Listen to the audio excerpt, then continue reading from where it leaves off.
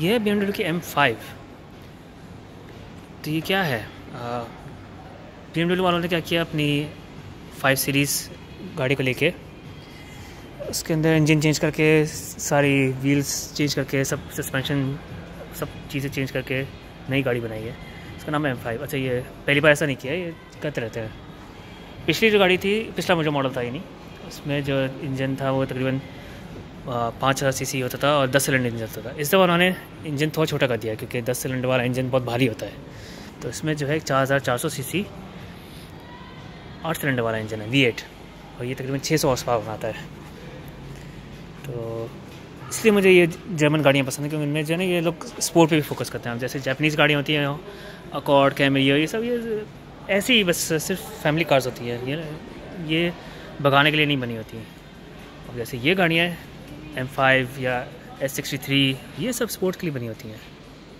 तो इनमें दो वर्जन होते हैं यानी एक नॉर्मल वर्जन होता है और एक लग्जरी और ये स्पोर्ट वर्जन होता है।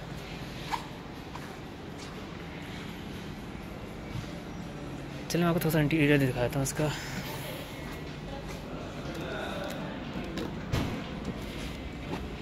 ये इसका इंटीरियर ये यहाँ पे सब इलेक्ट्रॉनिक सिस्टम है।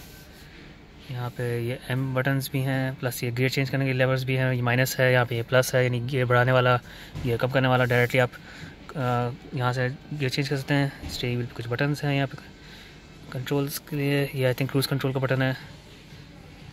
अच्छा यहाँ पे स्टेरिंग व्हील हीटिंग का भी बटन है, यहाँ पे फ़ोन के कंट्रोल्स हैं। अच्छा ये ये एलईडी स्क्रीन जो है, ये इसका कंप्यूटर सिस्टम की स्क्रीन है। उसका जो कंट्रोलर है, वो यहाँ है। आई ड्राइव के नाम से कंप्यूटर सिस्टम है इनका पिनुलका वालों का। ये इसका कंट्रोलर है, ये माउस की तरह हिलता है रोटेट होता है प्लस यहाँ पे टच पैड भी है, ये दफ्तर भी है। तो इसके, इससे सारे यहाँ पे फ़ंक्शंस के कंट्रोल होते हैं। ये पार्किंग ब्रेक इलेक्ट्रॉनिक है यहाँ पे। ये इसकी चाबी है, यहाँ पे इतफाक सर पड़ी हुई। इस ये लॉक डिग्गी खोलने को। ठीक है, और इसका गियर लेवल भी अच्छा खासा अच्छा स्पोर्टी सा है।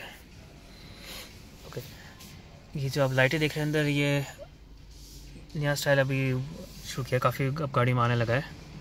बल्कि अब तो मैंने शायद नई वाले कॉर्ड में भी देखा है अभी आहिस्ता आहिस्ता सस्ती गाड़ी में भी आने लगा ये ऑप्शन तो अच्छा ऐसे जब लाइटें बंद होती है तो ये जलती हैं और ये बहुत नहीं अच्छा लगता है इंटीरियर गाड़ी है बहुत कंफर्टेबल सीटें भी देखें आप स्पोर्ट वाली सीटें हैं। ये रेगुलर कंफर्टेबल वाली नहीं है। लेदर है पूरा अंदर और, और ये वुड भी है। यूजली अगर आप मर्सिडीज़ की ये एम जी मॉडल्स में बैठे हैं तो उसमें सब वुड की जगह कार्बन फाइबर होता है। पीछे अगर आप आते हैं तो ये ये भी काफ़ी कम्फर्टेबल अच्छी सीटें काफ़ी पीछे हुई हुई हैं। प्लस आप देख सकते हैं साउंड सिस्टम के बटन के स्पीकर हैं। यहाँ पे भी स्पीकर है। टीवी स्क्रीन लगी हुई हैं। पीछे की भी लाइटें हैं। तो काफ़ी स्पेशियस है। और ये अच्छी न्यू की दरमियानी साइज़ की गाड़ी है, ये सबसे बड़ी भी नहीं है सेवन सीरीज़ का मॉडल नहीं है ये। यानी ये होगी तो दरमियानी साइज़ की गाड़ी के बराबर है, तकरीबन, कह सकते कैमरी से ज़रा सी बड़ी होगी या कॉड के बराबर होगी ये।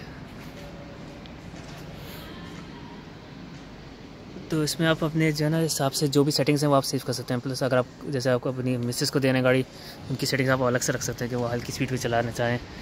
तो इस तरह से आप गाड़ी में बैठे हैं, बस अपनी प्रोफ़ाइल डालें, जिस जिस नाम से आप सेव उसको किया हुआ है, और गाड़ी उसी के हिसाब से चलेगी। तो वीडियो देखने का बहुत शुक्रिया यहाँ पे और भी गाड़ियाँ उनकी मैंने वीडियोज़ बनाई हैं।